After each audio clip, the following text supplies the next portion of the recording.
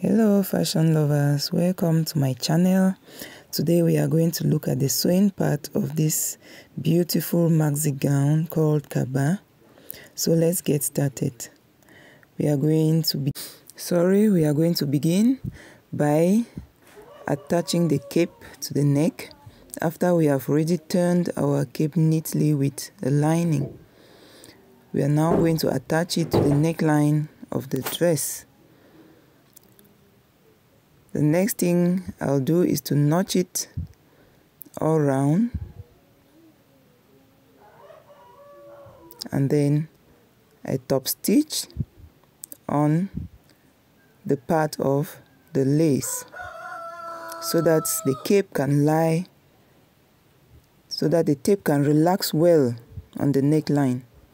After turning we fix it and we place the down part that's the part with Ankara. We are going to stitch it on our half length beginning from the center. So we first of all notch the center on the Ankara. We also notch the center on the lace. And then we place it good side facing good side and we stitch it all through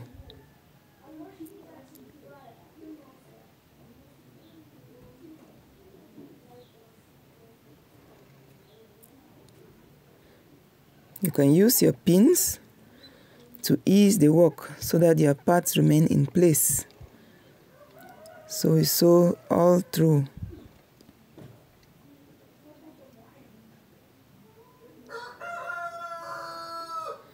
After sewing, I went ahead and notched so that it can relax well.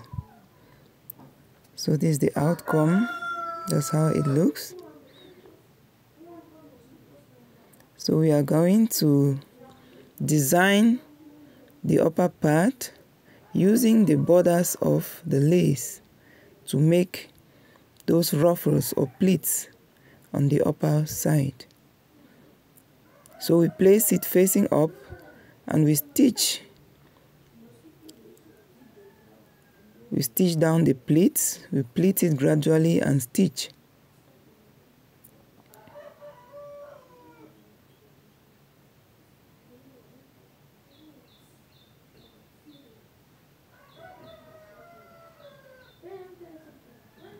Take your time and arrange the pleats very well. And after sewing we are going to flip it over to face downward. So we are going to continue by stitching the base part which is having pleats also. That is the second step down which is also pleats. Remember I said we are doing some adjustments and we are adding a pleated part under this gown. So we are going to continue making our pleats right to the end. We continue by designing the front part of the kabba using our lace. You can design with any design you wish. Here we are just going to sew lace at the center front. Just place our lace stripe and we fold in a bit and we stitch it right down.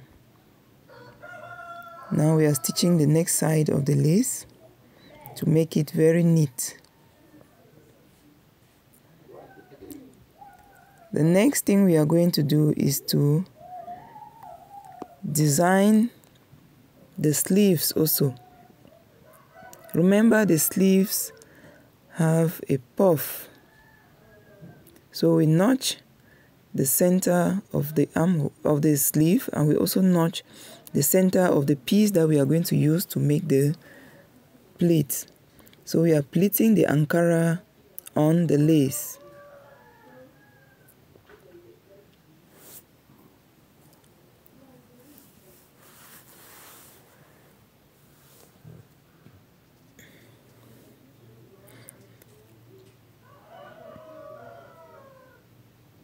So that's it.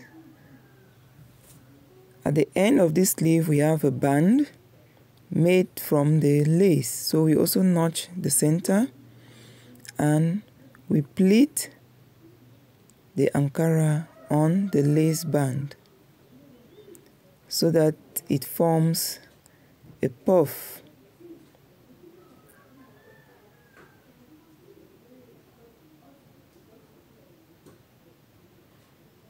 After pleating, we fold the lace and top stitch on the good side to give it that neat finishing.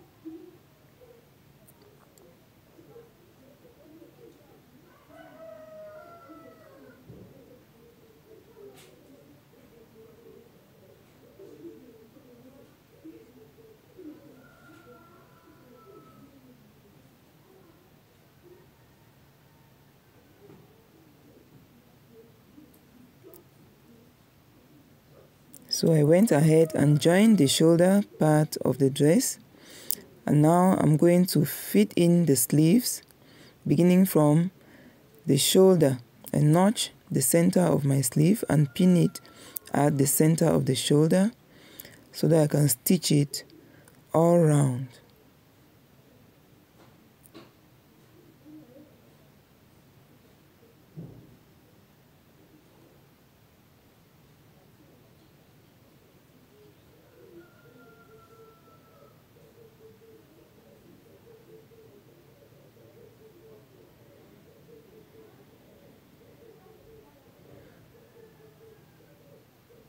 So we do the same for the next leaf. And after that we are going to join the sides and fit in the pocket. So this is the outcome. This is the outcome. I'm still going to post the full picture of this gown in our next tutorial. So please stay tuned and remember to click on the notification bell